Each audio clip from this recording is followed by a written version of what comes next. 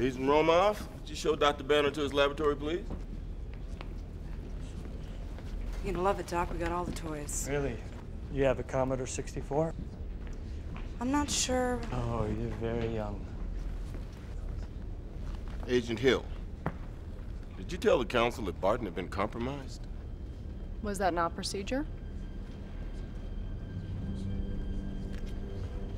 Did you tell them who exactly is on your response team?